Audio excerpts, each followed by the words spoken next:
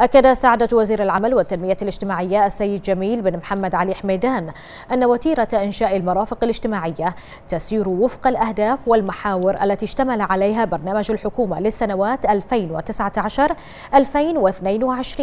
والمتمثلة في تلبية الاحتياجات التطويرية في محافظات مملكة البحرين. وأكد حميدان في هذا السياق أن العمل جار على تنفيذ خمسة مشاريع إنشائية تقدم خدمات متنوعة تخدم فئات المجتمع المختلفة وذلك بالتعاون مع وزارة الأشغال وشؤون البلديات والتخطيط العمراني. وهي مركز اجتماعي شامل في منطقة البديع وناد نهاري للوالدين في منطقة جد حفص ومجمع الإعاقة الشامل في عالي ومجمع الرعاية الاجتماعية في مدينة حمد ومجمع الخدمات الاجتماعية بمدينة عيسى.